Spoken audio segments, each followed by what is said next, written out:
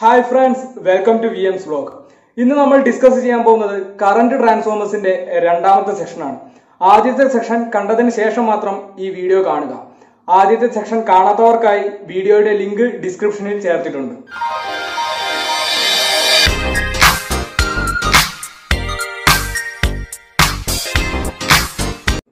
ഇന്ന് നമ്മൾ ഡിസ്കസ് ചെയ്യാൻ പോകുന്നത് കറണ്ട് ട്രാൻസ്ഫോമേഴ്സിന്റെ സിംബൽസും നെയിം പ്ലേറ്റ് ഡീറ്റെയിൽസ് അല്ലെങ്കിൽ അതിന്റെ സ്പെസിഫിക്കേഷൻസിനെ കുറിച്ചുമാണ്. നോക്കാം നമുക്ക്. ഈ കാണിച്ചിട്ടുള്ളതാണ് നോർമലി നമ്മൾ സി ടിക്ക് യൂസ് ചെയ്യുന്ന സിമ്പിൾസ് പലതരത്തിലും സി ടീനെ ഡിഫൈൻ ചെയ്യാറുണ്ട്. പല വൈൻഡിങ്സിന്റെ എണ്ണമൊക്കെ വെച്ചിട്ട് അതിനനുസരിച്ച് പല സിംബൽസും ഉണ്ട്. പക്ഷേ പ്രധാനമായിട്ടും ഡ്രോയിങ്ങിലൊക്കെ നമ്മൾ ഈ സിംബലാണ് യൂസ് ചെയ്യാറ്.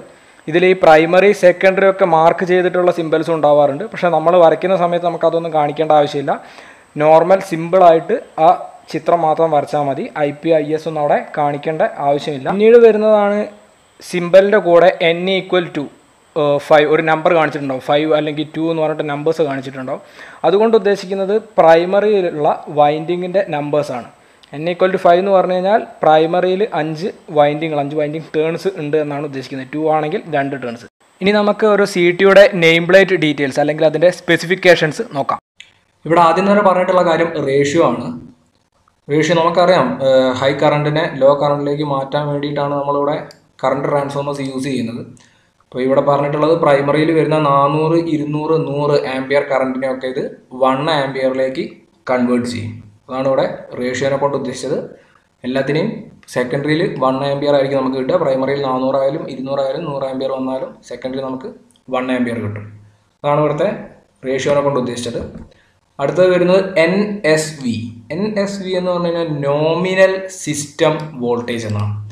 നോമിനൽ സിസ്റ്റം വോൾട്ടേജ് എന്ന് പറഞ്ഞു കഴിഞ്ഞാൽ നോർമലി നമ്മൾ ആ സിസ്റ്റം വോൾട്ടേജ് അതായത് ഇപ്പോൾ തേർട്ടി ത്രീ കെ വിന്റെ സബ്സ്റ്റേഷൻ വിചാരിക്കാം. സ്പെസിഫൈഡ് വോൾട്ടേജ് അതാണ് ഈ നോമിനൽ സിസ്റ്റം വോൾട്ടേജ് കൊണ്ട് ഉദ്ദേശിക്കുന്നത്. അടുത്ത ടേം നമുക്ക് വരുന്നത് ഹൈ സിസ്റ്റം വോൾട്ടേജ് അല്ലെങ്കിൽ highest system voltage highest system voltage എന്ന് പറഞ്ഞു കഴിഞ്ഞാൽ ഇപ്പോൾ തേർട്ടി ത്രീ കെവിന്റെ സബ്സ്റ്റേഷൻ ആണെന്ന് വിചാരിക്കാം. അവിടെ നമുക്ക് വരുന്നത് എപ്പോഴും തേർട്ടി ത്രീ കെ വി ആയിക്കൊള്ളുന്നില്ല. ചില സമയത്ത് ലോഡുകളൊക്കെ വ്യത്യാസം വരുമ്പോൾ വോൾട്ടേജ് അവിടെ ഹൈ ആവാൻ സാധ്യതയുണ്ട്.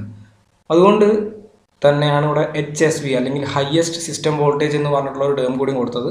കാരണം ആ ട്രാൻസ്ഫോമർ അതുകൂടി വിത്ത് സ്റ്റാൻഡ് ചെയ്യാനുള്ള കപ്പാസിറ്റി ഉണ്ടായിരിക്കണം. അത് തേർട്ടി സിക്സ് കെ വി ആണ് ഈ ട്രാൻസ്ഫോമറിന് കൊടുത്തിട്ടുള്ളത്. അടുത്തതാണ് ഇൻസുലേഷൻ ലെവൽ ഐ എൽ എന്ന് മാർക്ക് ചെയ്തിട്ടുണ്ട്. ഇൻസുലേഷൻ ലെവൽ രണ്ടെണ്ണമായിട്ടാണ് ഇവിടെ കാണിച്ചിട്ടുള്ളത്. Seventy bar one seventy K V ആണ്. ഇപ്പോൾ സെവന്റി എന്ന് പറഞ്ഞു കഴിഞ്ഞാൽ നമ്മളെ നോർമൽ ഫോൾട്ടുകൾ വരുമ്പോഴൊക്കെയുള്ള ഇൻസുലേഷൻ കപ്പാസിറ്റിയാണ് ഉദ്ദേശിക്കുന്നത്. വൺ സെവന്റീനെ കൊണ്ട് ഉദ്ദേശിക്കുന്നത് ലൈറ്റ്നിങ് സമയത്തൊക്കെ ഉള്ള ഇൻസുലേഷൻ കപ്പാസിറ്റിയാണ് അടുത്തതായിട്ട് കൊടുത്തിട്ടുള്ളത് കോറാണ് വൺ ടു ത്രീ ഫോർ എന്ന് പറഞ്ഞിട്ട് നാല് കോറുകൾ ഇവിടെ കാണിച്ചിട്ടുണ്ട്. കറസ്പോണ്ടിങ് സെക്കൻഡറിയിൽ നാല് കോറുകളാക്കി കൊടുത്തിട്ടുണ്ട്. അതാണ് കോറിന്റെ നമ്പേഴ്സ് കൊണ്ട് ഉദ്ദേശിക്കുന്നത്. ഇത് ഒരു ചെറിയ ചെറിയ ട്രാൻസ്ഫോമേഴ്സിലൊക്കെ സിംഗിൾ കോറേ വരാറുള്ളൂ. പിന്നെ രണ്ട് മൂന്ന് നാല് അഞ്ച് തുടങ്ങിയ എല്ലാ നമ്പേഴ്സിലും കോറുകൾ കാണാറുണ്ട്. ഈ കോറുകൾ തന്നെ ചിലപ്പം ടാപ്പിംഗ് ഒക്കെ ഉണ്ടാവാറുമുണ്ട് അതായത് സെക്കൻഡറി സിംഗിൾ കോയിൽ അല്ലാതെ അതിന് ടാപ്പിംഗ് വരാനുള്ള സാധ്യതകളും ഉണ്ട്.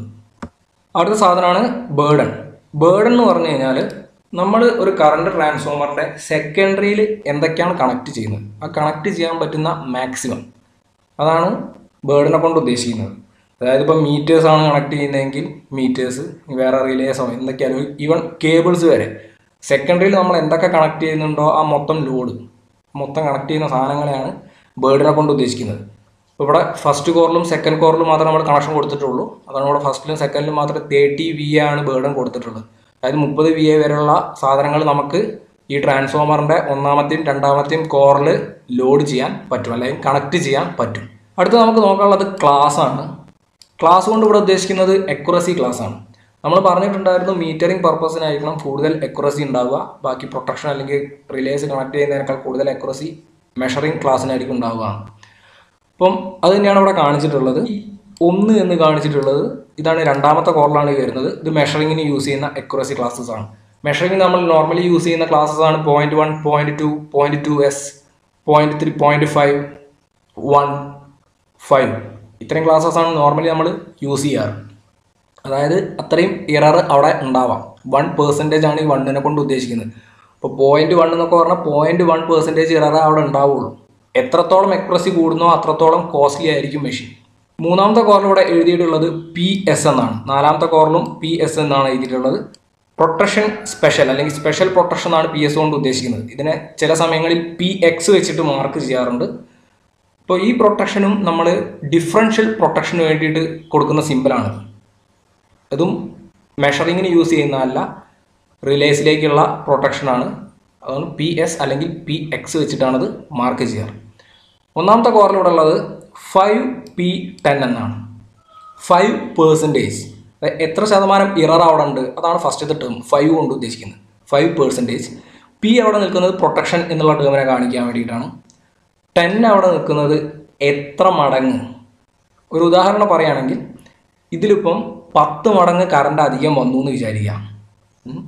പത്ത് മടങ്ങ് കറണ്ട് അധികം വന്നാൽ പോലും അഞ്ച് ശതമാനം ഇററെ ഈ മെഷീൻ കാണിക്കുകയുള്ളൂ എന്നാണ് ഈ ഒരു ടേമിനെ കൊണ്ട് ഉദ്ദേശിക്കുന്നത്. ഫൈവ് പി ടെൻ എന്ന് പറഞ്ഞാൽ ഓക്കെ ഈ ഫൈവ് പി ആണ് അതിന്റെ എക്യുറസി ക്ലാസ് വരുന്നത്.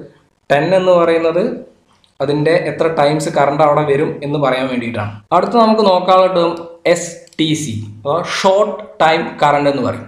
എന്തെങ്കിലും ഒരു ഫാൾട്ട് വന്നു കഴിഞ്ഞാൽ അവിടെ ഒരു ഹൈ കറണ്ട് ഉണ്ടാവും എന്ന് നമുക്കറിയാം. ആ ഹൈ കറണ്ട് എത്രത്തോളം ട്രാൻസ്ഫോമറിന് വിത്ത്സ്റ്റാൻഡ് ചെയ്യാൻ പറ്റും എന്നുള്ള സാധനമാണ് അതുകൊണ്ട് ഉദ്ദേശിക്കുന്നത്. ഇവിടെ ട്വന്റി ഫൈവ് കിലോ ആംബിയർ കറണ്ടാണ് ഒരു സെക്കൻഡ് നേരത്തേക്കാണ് താങ്ങാൻ പറ്റുക. അപ്പോൾ അതിലും കൂടുതലായി കഴിഞ്ഞാൽ സേഫ്റ്റിയെ ബാധിക്കും. പിന്നീട് ഇവിടെ പറഞ്ഞിട്ടുള്ള കാര്യങ്ങൾ ഫ്രീക്വൻസി അറിയാം ഓൾ ഇന്ത്യ ഫിഫ്റ്റി ഹേർട്സ് തന്നെയാണ് വരിക.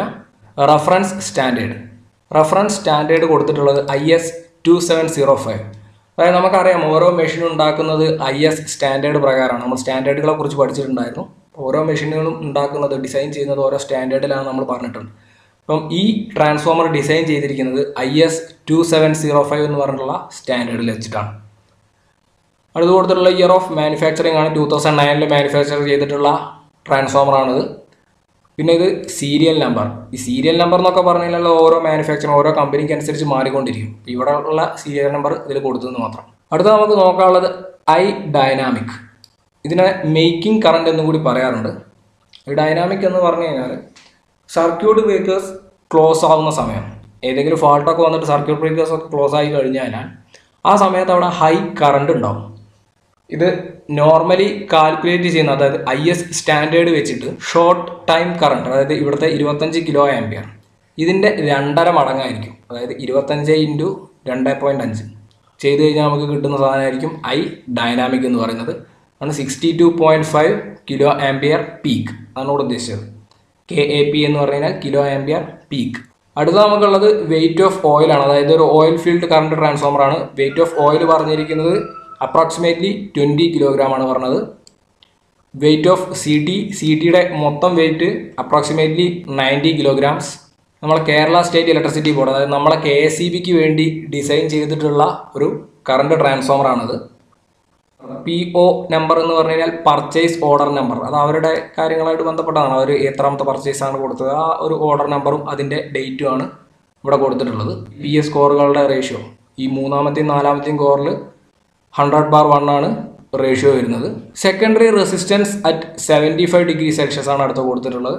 അതായത് seventy five degree Celsius temperature വരുന്ന സമയത്ത് ഈ കറണ്ട് ട്രാൻസ്ഫോമറിന്റെ സെക്കൻഡറിയിൽ ഉണ്ടാകുന്ന റെസിസ്റ്റൻസ് എത്രയായിരിക്കും? നാല് മുതൽ അഞ്ച് ഓം വരെയാണ് secondary resistance at seventy five degree Celsius കൊടുത്തിട്ടുള്ളത്. മിനിമം നീ പോയിന്റ് വോൾട്ടേജ് എന്ന് പറഞ്ഞു കഴിഞ്ഞാൽ വളരെ സിമ്പിളായിട്ട് പറയുകയാണെങ്കിൽ കറണ്ടും വോൾട്ടേജും ലീനിയർ ആയിട്ട് പോകണമെങ്കിൽ കുറച്ച് കണ്ടീഷൻസ് ഉണ്ട്. അതായത് ഒരു ലെവൽ വരെ ഇത് ലീനിയർ റിലേഷൻഷിപ്പ് മെയിന്റെയിൻ ചെയ്യുള്ളൂ. അത് മേലേക്ക് പോയി കഴിഞ്ഞാൽ അവിടുത്തെ ലീനിയർ റിലേഷൻഷിപ്പ് ബ്രേക്ക് ആവും. ഒരു എക്സാമ്പിൾ കാണിച്ചു തരാം. എ മുതൽ കെ വരെയുള്ള പോർഷനിലാണ് വോൾട്ടേജും കറണ്ടും ലീനിയർ റിലേഷൻഷിപ്പിലാവുന്നത് ഇതിന് മുകളിലേക്ക് ഒരു വോൾട്ടേജ് പോയി കഴിഞ്ഞാൽ അവിടെ ഈ ലീനിയാരിറ്റി നഷ്ടപ്പെടും. ഇതിന് താഴേക്കുള്ള വോൾട്ടേജിനും ആ ലീനിയാരിറ്റി ഉണ്ടാവില്ല. അപ്പം ഇതാണ് ഇവിടുത്തെ നീ പോയിന്റ് വോൾട്ടേജ് കൊണ്ട് ഉദ്ദേശിക്കുന്നത്. Maximum excitation current at V K അതായത് മിനിമം നീ പോയിന്റ് വോൾട്ടേജിലുള്ള മാക്സിമം എക്സൈറ്റേഷൻ കറണ്ട് പറഞ്ഞിരിക്കുന്നത് less than or equal to fifty ഈ കാര്യങ്ങൾ റേഷ്യോനെയാണ് ബാധിക്കുക. അതായത് അതിന്റെ അക്യുറസിനും കാര്യങ്ങളൊക്കെ ബാധിക്കും. ഇത് പ്രോപ്പറായിട്ട് മെയിന്റെയിൻ ചെയ്തിട്ടില്ലെങ്കിൽ. നമുക്ക് അത്രയും ഡീറ്റെയിൽ ആയിട്ട് ഈ കാര്യങ്ങളൊന്നും പഠിക്കാനില്ല. ഇതുവരെ പറഞ്ഞ കാര്യങ്ങൾ മാത്രമേ നമുക്ക് പഠിക്കാനുള്ളൂ. ഈ സെക്ഷൻ എല്ലാവർക്കും മനസ്സിലായി എന്ന് വിശ്വസിക്കുന്നു. നിങ്ങൾക്ക് സംശയം എന്തെങ്കിലും ഉണ്ടെങ്കിൽ കമന്റ് ബോക്സിലൂടെ ചോദിക്കാവുന്നതാണ്. തുടർന്നും ഇത്തരത്തിലുള്ള ക്ലാസ്സുകൾ ലഭിക്കുന്നതിന് വേണ്ടി ചാനൽ എല്ലാവരും സബ്സ്ക്രൈബ് ചെയ്യുക. വീഡിയോ ഇഷ്ടപ്പെട്ടാൽ ലൈക്ക് ചെയ്യുക. മാക്സിമം സപ്പോർട്ട് ചെയ്യുക. നിങ്ങളുടെ അഭിപ്രായങ്ങളും നിർദ്ദേശങ്ങളും കമന്റ് ചെയ്യുക. വീണ്ടും പുതിയൊരു സെക്ഷനിൽ കാണാം.